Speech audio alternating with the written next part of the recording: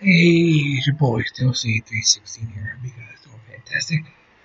I just wanted to do this little quick video before I go sleep tonight. Uh, right now, it's right now is 12:43 Eastern Time. I just want to get this video to to say uh, thank you for coming here and supporting my channel, and I want to thank you all for doing what you guys doing for my channel, and continue doing more videos like this. And um, also, guys, go check out my Twitch same as my YouTube, but it's not. It's a little different because it's got space on it. But it's still City 360, and this is still City 360 slash Still City slash 360.